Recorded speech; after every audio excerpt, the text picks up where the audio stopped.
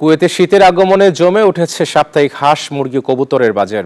দেশটির সৌদি ও ইরাক সীমান্ত ঘেঁষা মরু অঞ্চল আবদালিতে বসে সাপ্তাহিক হাঁস, মুরগি, কবুতরের হাট। ওইসব খামারে পরিচ্ছন্নতা দেখাশোনা করে থাকেন প্রবাসী বাংলাদেশিরা।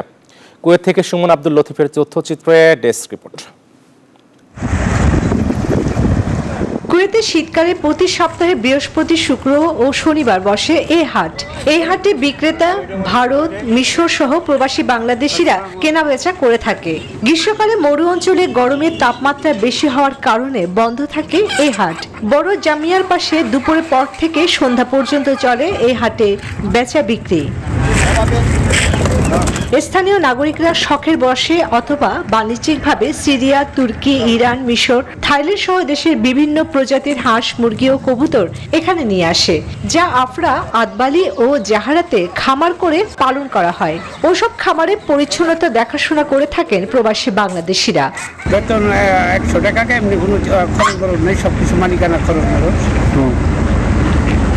দুই বছর বাদে বাদে দুইটা টিকিট যাই চলে যাই আমার এখানে খবর আছে। আর এগুলো অবস্থা আলহামদুলিল্লাহ, আছে, ভালো আছে। আর এখানে তো আমরা সবসময় বসি না, এখানে বসি না।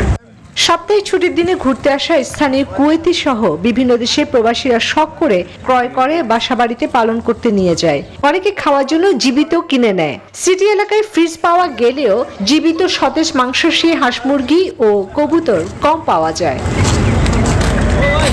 Chandrani Chandra news twenty